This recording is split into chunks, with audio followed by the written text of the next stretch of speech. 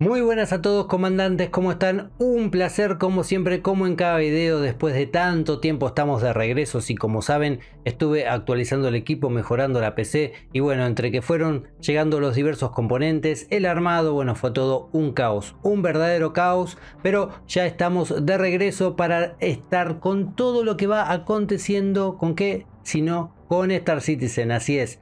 Hoy vamos a estar repasando todo lo que ha sucedido en un nuevo Inside, donde nos hablaron de la Redeemer, de la Vulture, de las extremidades cibernéticas. Bueno, realmente hay de todo, de todo en este nuevo Inside. Así que, ¿qué les parece si lo vemos juntos? Como siempre, dale, vamos.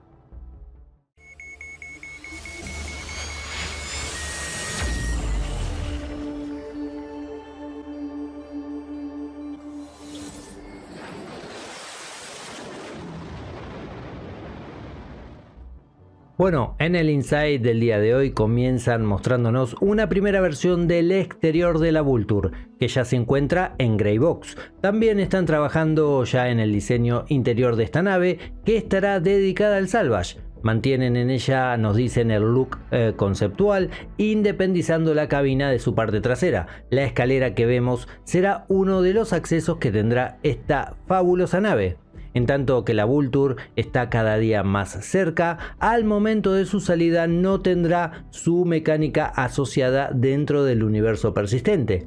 Algo similar a lo que le ha sucedido a la Reclaimer, nave que vio la luz allá por el año 2017, año en el que también se prometía su mecánica, pero los diversos contratiempos no hicieron posible que dicha mecánica, valga la redundancia, se encuentre activa.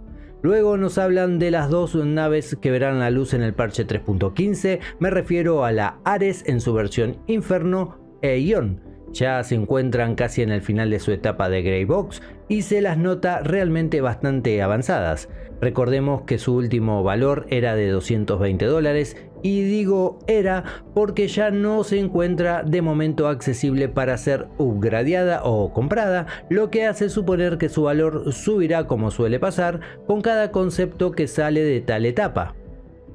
Nos dicen que en su construcción tuvieron algunos problemas con el diseño de ubicación de los componentes, como también el situar el enorme cañón que lleva sin que éste deforme la silueta de esta hermosa nave como así también complique la visión del piloto. Nos informan también que la Gladius ya ha alcanzado su estándar de oro en el pasado parche 3.14 y que la Sabre lo hará en el parche 3.15.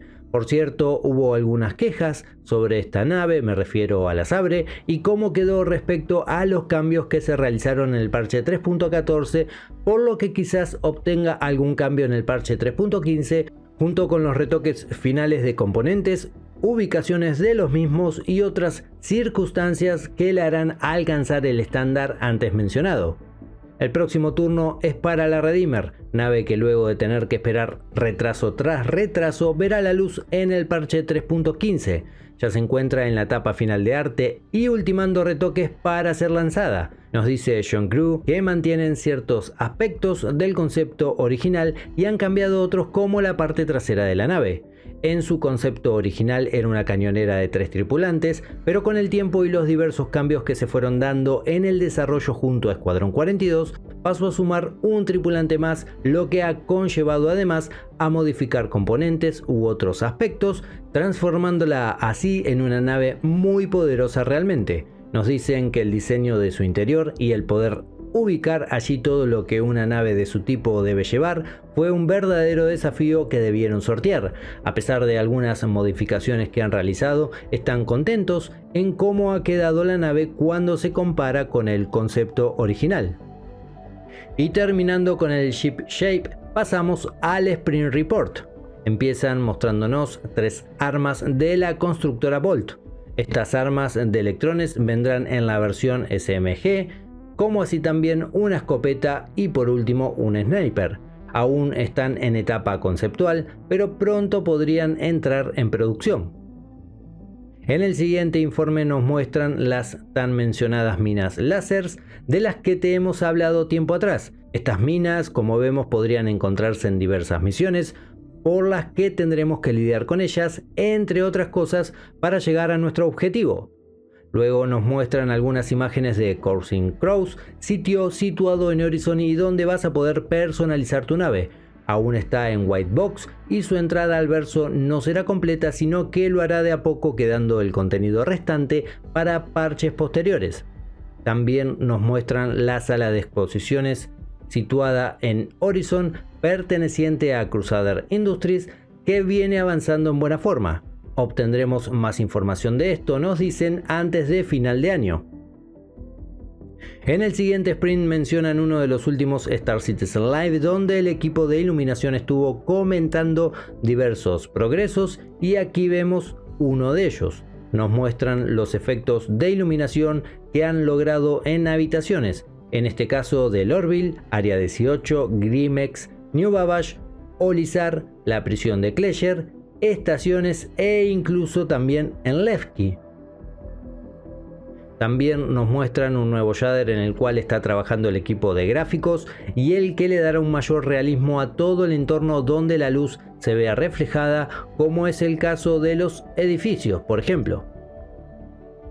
El equipo que diseña la interfaz con la que interactuamos eh, día a día ha estado trabajando en un nuevo modelo del cuerpo humano que podremos visualizar cuando nos recostemos sobre una cama médica y esta examine nuestro estado vital. Nos dicen que habrá dos modelos diferentes, uno para hombres y otro para mujeres y que esta interfaz es muy similar a lo que verá el jugador cuando utilice su herramienta médica para examinar a alguien pero claro, de momento esto solo estará disponible en los hospitales, lo demás lo vas a ver en un futuro. También nos cuentan que en los próximos Inside nos van a hablar más acerca de este tema. Y cómo la medicina va avanzando en su desarrollo dentro de Star Citizen, con ella también llegan los primeros modelos de extremidades cibernéticas. Bueno, primeros modelos es un decir, ya que realmente los primeros los vimos allá por el año 2017, pero nunca está de más recordarlos parece. Lo cierto es que diferentes modelos y tipos ya han sido confeccionados en forma conceptual y se verán añadidos al juego cuando la funcionalidad médica esté más avanzada. Por cierto, aclarar que esto también dependía del sistema de inventario físico, y sí, vas a tener que dejar un lugarcito para tu brazo o pierna cibernética en él. Uno nunca sabe lo que puede pasar dentro del verso. Además de esto, están testeando de manera gráfica cómo quedan en el personaje estos añadidos, combinándolos con diferentes tipos de vestimenta. Bueno comandantes, hasta acá el video del día de hoy, espero que les haya gustado, servido, informado. Como les digo siempre, ya saben que de ser así, Sí, pueden dejarnos esos likes para valorar nuestro contenido, también pueden compartir el mismo para ayudarnos a crecer y si no estás suscripto o suscripta, bueno, dale, ¿qué esperas? Siempre vas a estar invitado o invitada a hacerlo. Recordad también que estamos en Twitch, donde pronto vamos a volver cuando sí, termine de ordenar todo este caos que realmente, bueno, ya queda poco por estar ahí en las cosas minuciosas que van quedando, bueno, ya poco a poco falta como te comenté anteriormente. También te cuento que se viene una sorpresa enorme al canal, así que presta mucha atención porque la voy a estar compartiendo con ustedes. Y ahora sí, sin más, nos vamos. Como siempre, deseándoles a todos y todas una muy pero muy buena vida, mucha salud y ya saben, ciudadanos, ciudadanas, comandantes, si salen al verso, además de legales, vuelen seguros. Adiós.